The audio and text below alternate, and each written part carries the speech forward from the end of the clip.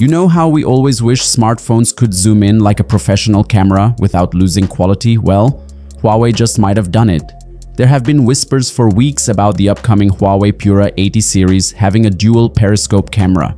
And at first it sounded like just another buzzword. But then today, Huawei dropped an official teaser, and now it's getting real. Let me break this down.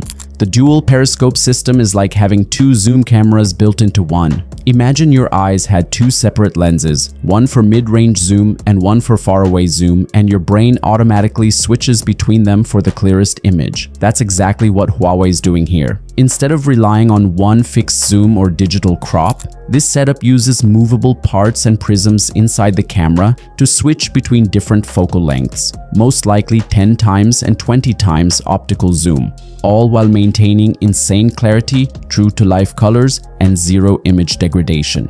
And the teaser video? It shows this off beautifully. There's a moment where the camera zooms into a far-off object and the detail is so sharp it looks like it's right in front of you. That's not digital trickery, that's pure optical magic.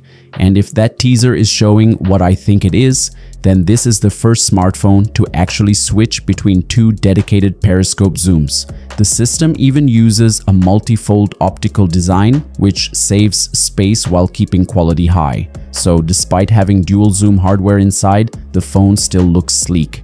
Speaking of design, did you catch the front of the phone in that teaser? It clearly shows a centered punch hole selfie camera, clean, minimal, and no 3D face unlock this time unlike the Mate series.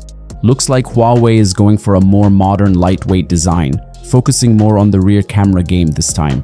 And just to top it off, we're hearing that the main camera might feature a 24mm variable aperture, and the periscope lens could offer an 89mm equivalent with 3.7 times optical, while the new dual lens mechanism handles higher zoom ranges like 10 times and 20 times.